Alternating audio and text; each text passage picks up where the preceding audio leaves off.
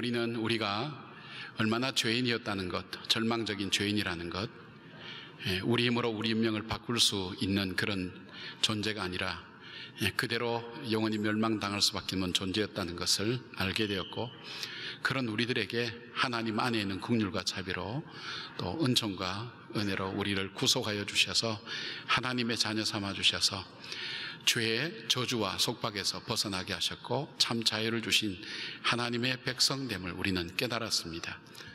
그리고 그 자유함을 얻은 하나님 백성들은 하나님과 교제할 수 있는 그 관계가 다시 회복되면서 주께로부터 오는 능력을 덧입어서 정말 참다운 그리스도인으로 살아갈 수 있다는 것을 우리가 깨닫게 되었습니다. 그리고 바울은 사장부터 예, 그런 교인들이 그런 성도들이 어떻게 살아야 되는지를 말씀하시면서 최종적인 그 그리스도인의 참다운 모습은 바로 관계를 통해서 나타난다고 했습니다. 예, 부부 관계를 통해서 부모와 자녀 관계를 통해서 종과 상전 예, 우리의 상관과 부하 그 모든 사회의 인간관계를 통해서 바로 우리가 구속받은 자녀됨의 그 풍성함과 충만함이 나타난다고 했습니다. 예, 그런 결론으로 점점 내려가면서 이제 마지막으로 심각한 결론에 다다르게 됩니다. 이 모든 것이 가능하기 위해서 우리가 해야 될 일이 무엇인가? 우리가 깨달아야 될 것이 있다는 것입니다. 이건 윤리와 도덕의 문제, 의지의 문제도 아니라 우리 속에 이 모든 복되고 풍성한 삶을 살기 위해서 우리가 반드시 알아야 될 것. 아무리 우리 노력하고 있어도 이것을 알지 못하면 우리는 그렇게 살 수 없는 존재라는 것을 심각하게 이 마지막에 결론적으로 이야기를 하고 있습니다. 그것이 뭘까요? 우리와 이금 하나님의 백성답게 살면서 거룩한 영향력을 가지고 이 땅의 빛과 소금으로 진정으로 살고 싶은데 우리와 이금 그렇게 살기 위해서 우리가 꼭 기억해야 될 것, 알아야 될 것이 무엇입니까? 첫째로 우리를 우리로 하여금 그렇게 살지 못하도록 공격하는 적이 있다는 것을 우리는 알아야 된다고 말씀하고 있습니다. 쉽게 말하면 우리의 삶은 이제 영적 전쟁의 상태에 돌입했다는 것을 말씀하고 있습니다. 12절 말씀 보니까 우리의 씨름은 혈과 육을 상대하는 것이 아니요 통치자들과 권세들과 이 어둠의 세상 주관자들과 하늘에 있는 악한 영들을 상대함이라고 그렇게 말씀합니다. 여기에 우리의 씨름이라고 했는데 우리의라는 것은 우리의 구원은 하나님께서 우리에게 베풀어 주신 은혜지만 그러나 우리가 싸워야 될 씨름이 있다는 것입니다. 이 씨름이라는 이 판례라고 하는 이 단어는 단순히 맞붙어서 누가 이기고 지는 것이 아니라 이것은 마치 몸을 엉켜 붙어서 누가 죽든지 죽이든지 마지막 결판을 내야 되는 심각한 싸움을 얘기합니다. 생사를 가르는 그 싸움 백병전과 같은 것을 말씀하고 있습니다. 우리가 그런 싸움에 승리해야 된다는 것입니다. 전쟁에서 승리할 수 없다면 바로 이 싸움에서 승리할 수 없다면 우리는 그런 마음을 갖고 있다 할지라도 우리는 참된 그리스도인답게 살아갈 수 없다는 것입니다. 전쟁은 이기거나 지는 것입니다. 전쟁은 이기면 살고 지면 죽습니다. 이기면 포로를 잡아서 부릴 수 있지만 지면 포로가 되어서 구속되고 메어서 이 노예로 살아갈 수밖에 없는 것입니다.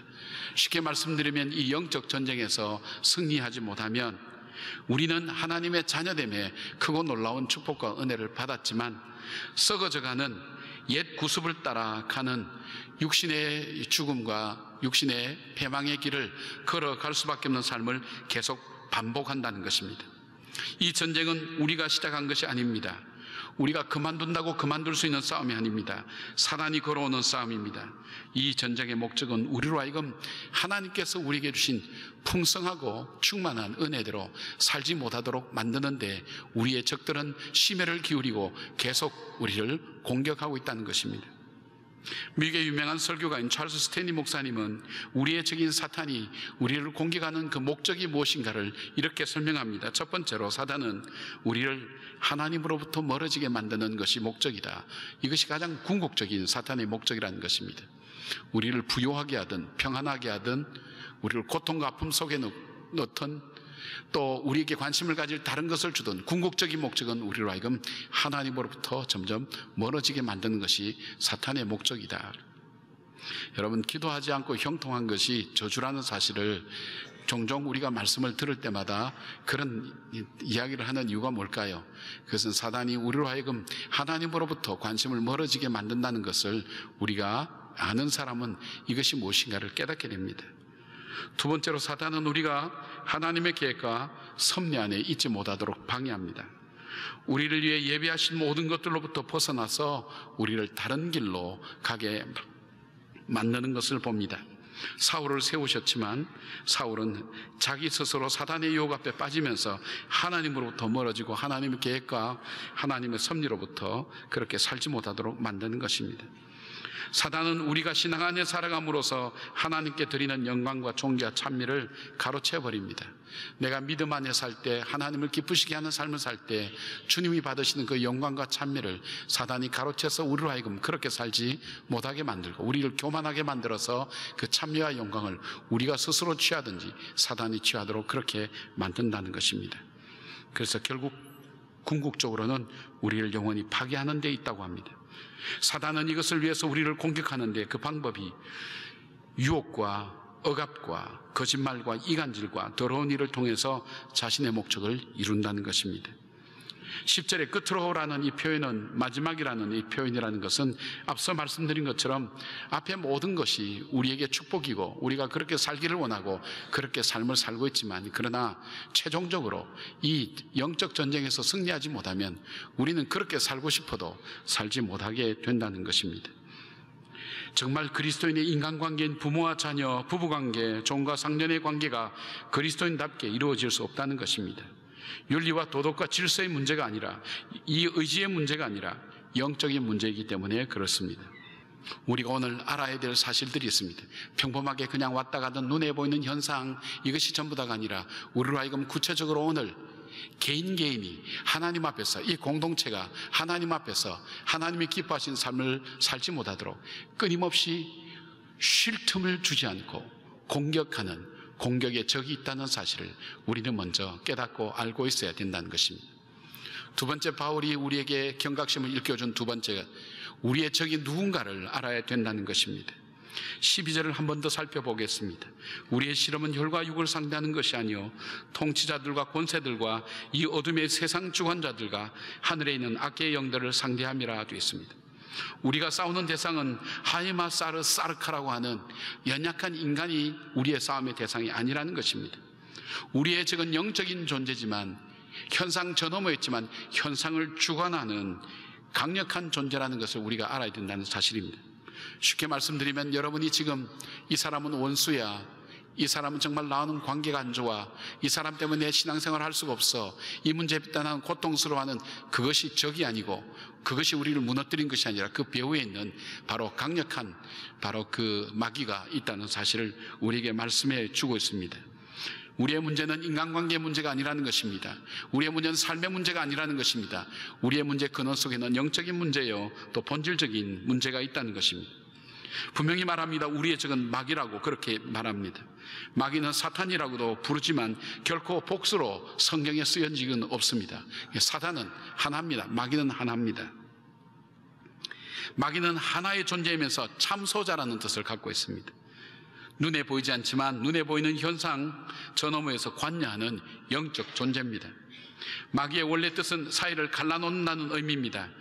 요한복음 8장 44절 보니까 거짓말쟁이요 거짓의 압이라고 말씀합니다. 거짓말과 이간질과 더러운 것으로 사이를 갈라놓습니다. 하나님과 우리의 관계를 갈라놓습니다. 우리와 우리 관계를 갈라놓습니다. 우리와 자연 관계를 파괴하는 일을 합니다. 이 마귀는 그 공격 대상이 정해져 있지 않습니다. 하와를 미혹해서 아담과의 관계를 파괴하고 하나님과의 관계를 단절시켜 놓고 그래서 어떤 그리스도인든지 그리스도를 향하는 진실함과 깨끗함에서 떠나서 부패시키는 역할을 하고 있습니다. 온 인류를 타락하게 만들었습니다. 고린도서 1장 3, 11장 3절 보니까 뱀이 그 관계로 하와를 미혹한 것 같이 너희 마음이 그리스도를 향하는 진실함과 깨끗함에서 떠나 부패할까 두려워하라고 그렇게 경고합니다. 마귀는 예수님에게 광야, 광야에서 40일 금식하는 동안 찾아가서 예수님을 미혹합니다. 고린도 교회를 공격해서 교회를 엉망으로 만듭니다. 바울의 서신 고린도 후서 2장 11절에는 이렇게 말씀합니다. 이는 우리가 사탄에게 속지 않게 하려 함이라. 우리는 그 계책을 알지 못하는 바가 아니로다. 사단이 어떤 계계로 이 교회를 무너뜨린지 우리가 이미 알고 있다고 그렇게 얘기합니다. 사단은 예수님께서 방금 칭찬한 신앙 고백을 한 베드로에게 들어가서 미혹해 합니다. 그래서 마태복음 16장 23절 보면 방금 칭찬한 베드로에게 예수님은 이렇게 말씀합니다.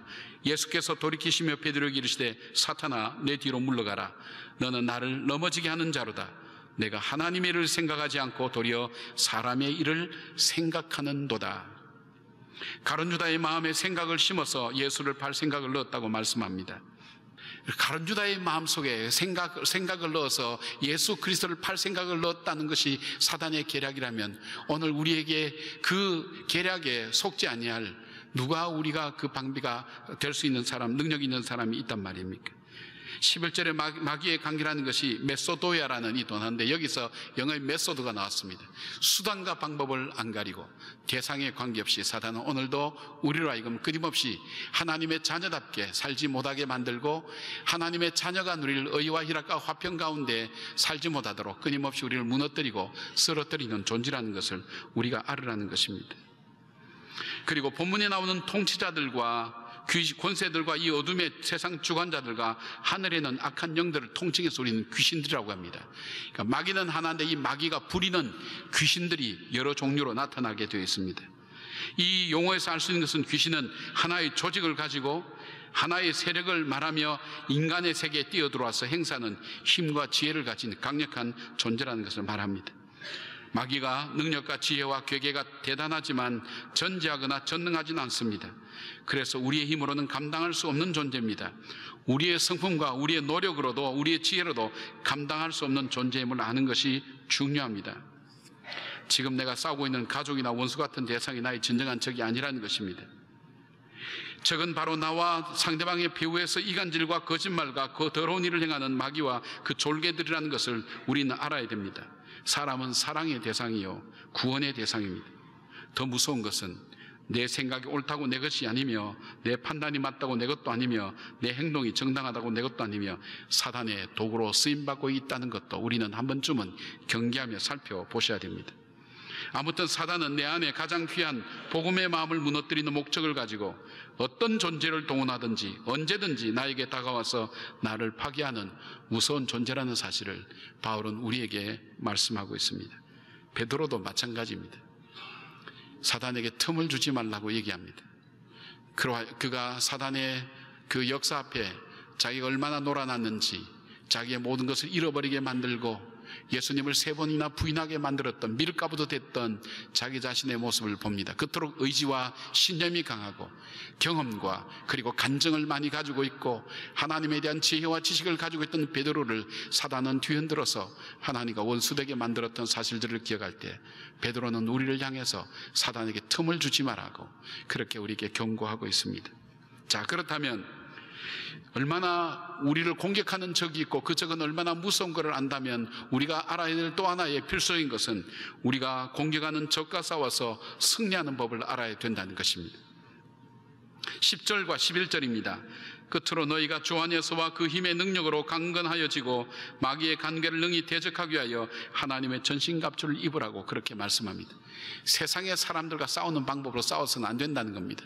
하나님의 방법이 있다는 것입니다. 우리보다 더 크고 놀라운 능력과 지혜를 가진 마귀를 대항해서 이길 수가 없습니다. 바울은 그 마귀와 졸개들인 귀신들과 싸워서 승리하기 위해서는 무엇보다도 먼저 우리의 삶의 자리가 주 안에 있어야 된다고 합니다. 주 안에 있다는 게 뭘까요? 제임스 몽고메리 보이스 목사님은 중국의 성경 교사였던 워치만 리의 에베소서 강의에서 힌트를 얻어서 설명합니다. Sitting, 그 다음에 walking, standing 그렇게 얘기합니다.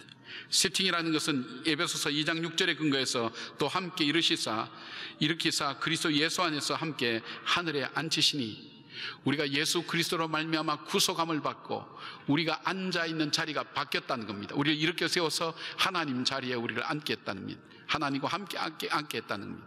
존귀하고 귀한 자리에 우리를 앉겠다는 것. 우리를 구원하시는 그 하나님과 함께 자리에 앉는 것. 행함 워킹 예배소 4장 1절 그러므로 주 안에서 갇힌 내가 너희를 권하노니 너희가 부르심을 받은 일에 합당하게 행하라는 겁니다. 부르심을 받은 일에 합당하게 행하는 것. 스탠딩 굳게 선다는 것.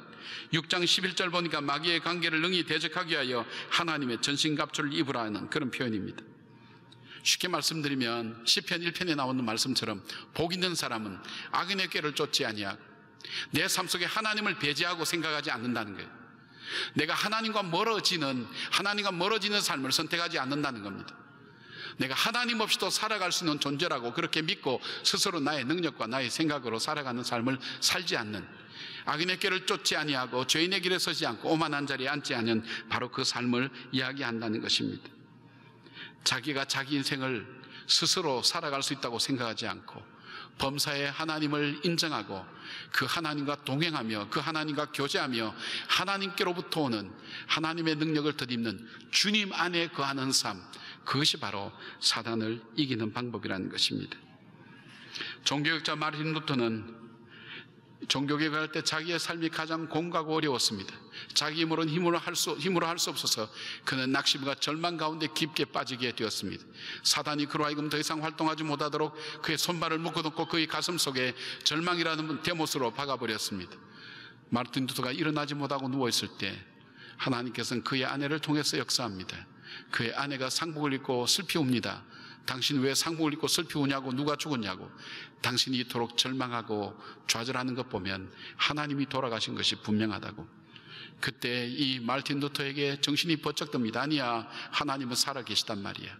그리고 내 힘으로는 할 수 없고 그 하나님으로 할 수 있다는 것을 그가 다시 고백하며 지은 찬송이 내주는 강한 성이요라는 찬송입니다. 내 힘만 의지할 때는 피할 수밖에 없도다. 힘 있는 장수 나와서 날 대신하여 싸우니 이 장수 누군가 주 예수 그리스도 망군의 주로다. 당할 자 누구랴 반드시 이기리로다. 이 찬송을 통해서 그는 하나님께 의지하며 한 걸음 한 걸음 승리의 길로 나간 것을 보게 됩니다. 주 안에 우리의 삶의 자리가 주 안에 있다는 것을 좀 더 구체적으로 표현하면 우리가 신앙의 공동체 안에 머물면서 영적 교제하는 삶을 말합니다. 서로 중보해 줍니다. 시험 드는 사람들 보면 그가 교제하는 친구들과 교제하는 이 환경들이 그렇게 좋은 환경들이 아니에요. 여러분 한번 곰곰이 지난 날 여러분 생각해 보십시오. 내가 시험에 들어서 교회에 대해서 가정에 대해서 내 삶에 대해서 기쁨과 감사를 잃어버릴 때 여러분과 만났던 사람이 누구였는지, 어떤 말의 영향을 받았는지, 어떤 환경과 교제하고 있었는지를 생각해 보십시오. 내가 앉아있는 이 삶의 자리가 하나님과 교제하며 주님과 함께 교제하는 성도들과의 아름다운 교제가 있는 그 공동체 안에 머물러 있다는 것이 얼만큼 복된 것인가. 그래서 여러분 화목한 교회, 평강 있는 교회, 영적으로 살아서 기도하는 교회에 속해, 속해 있고 그 공동체 안에 믿음의 식구들과 함께 있다는 것이 얼만큼 중요한지. 여러분 그래서 중보기도 훈련을 통해서 여러분을 하여금 기도의 동력자로 묶어주려고 하는 겁니다. 바나바를 통해서 여러분으로 섬김과 사랑의 동력자로 묶어지고 하나님의 공동된 아름다운 이 복음대 복된 자리에 여러분으로 하여금 삶의 자리를 강력하게 붙들어주고 인도해 주는 것이 바로 이 훈련입니다. 이 훈련 통해서 여러분으로 하여금 기도의 공동체 안에 머물고 찬양의 공동체 안에 머물게 만드는 것입니다. 두 번째는 모든 문제에 쉬지 않고 기도하는 것입니다. 저는 기도할 때 능력이 나타난다고 믿습니다. 능력은 바로 나를 이기는 능력입니다. 능력은 바로 사단을 대적하는 능력입니다. 능력은 바로 세상을 대적해 승리하는 능력이 바로 기도 속에서 나타납니다. 세 번째 하나님 말씀을 담습니다. 하나님 말씀을 많이 담고 있는 사람은 지혜롭습니다. 분별력이 있습니다.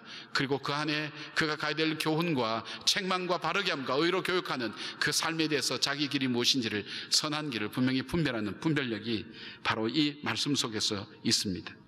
좋은 공동체와 기도와 말씀의 교제는 바로 사단을 이기는 놀라운 영적 무장의 장소가 되면서 기회인 것을 알 수 있습니다. 이 믿음에 서서 대적할 때 사단은 물러가게 된다는 것입니다. 여러분, 제가 이 드린 이 본문의 이 설교는 우리가 2011년 6월에 건축을 시작하고 우리가 2011년 9월 달 우리가 70일 새벽 기도를 선포하던 그 주일, 그 주일에 드렸던 말씀과 동일한 말씀입니다. 무엇일까요? 우리로 하여금 70일 동안 이 새벽에 나와서 기도하게 만들었던 일들이 무엇일까요?